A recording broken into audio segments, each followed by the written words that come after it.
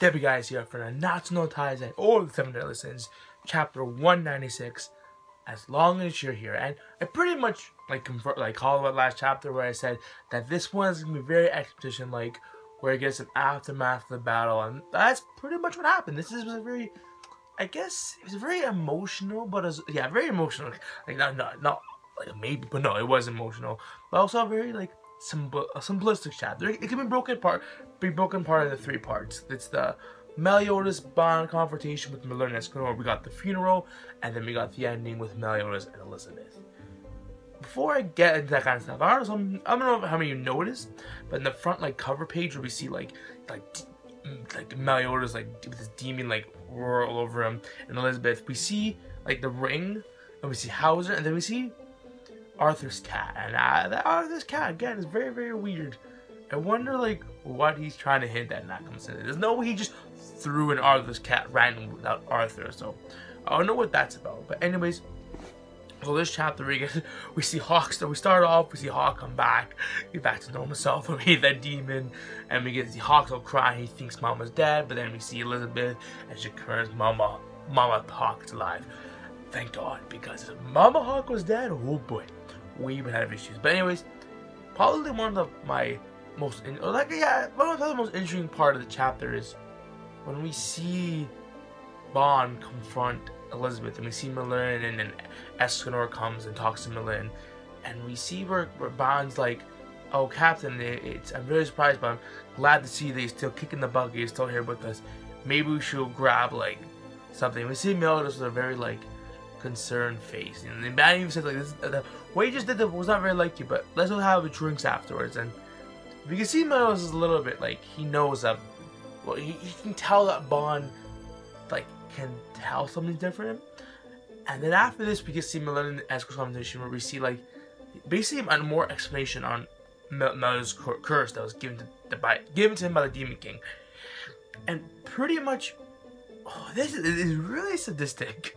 what do you think about it? It's basically because Meliodas got like all this human feelings and relation, like like love and care and like kindness from his like relationship with the the Liz line, Liz reincarnation, Elizabeth, Liz, whoever came before that.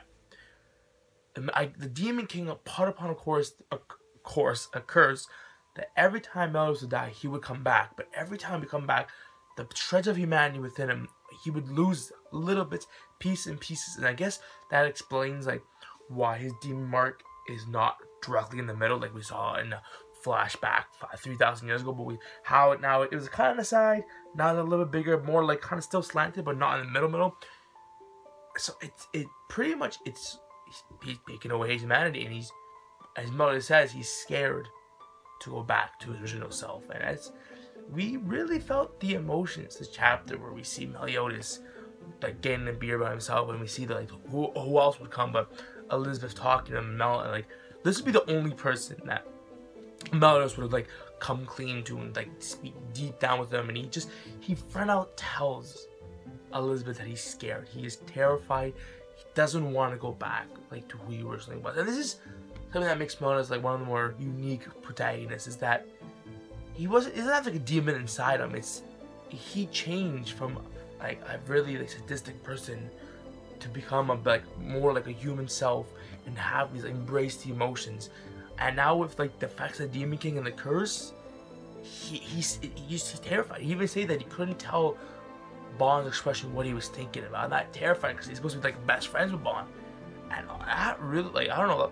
It's a very similar chapter. Like not much happened. I didn't expect much to happen in this chapter because the expedition, as I said before, it's just we're not we're cooling down.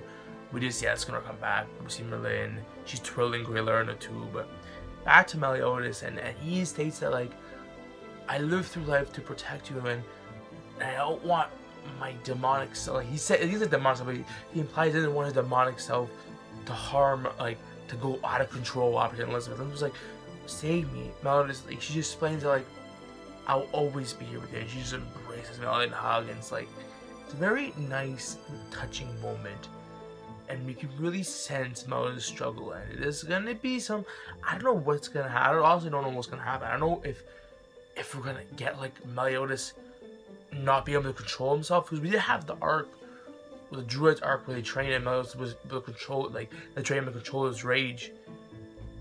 This is not more like the rage. This is more like his demonic self going back. So, like I, I'm wondering if Tech if, if um Meliodas is gonna be able to regain those emotions, or is he gonna stay put again? And maybe he seems really close to his old himself. It's like really really close, and I wouldn't be surprised if he die again, and then he comes back completed, reverted back to original self, and that would be something I would really honestly kind of like.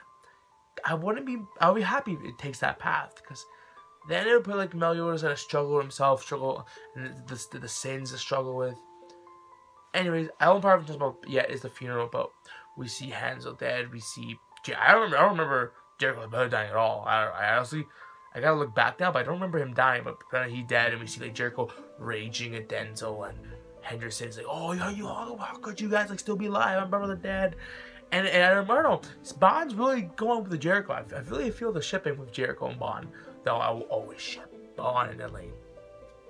Favorite, favorite ship. I love those two. Love those two. But I would be okay with Ban and Jericho. I think it would be, it'd be nice.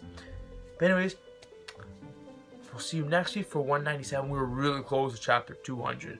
So I'm really excited. I expect that Nakaba is going to throw some very, very big into it, uh, chapter 200.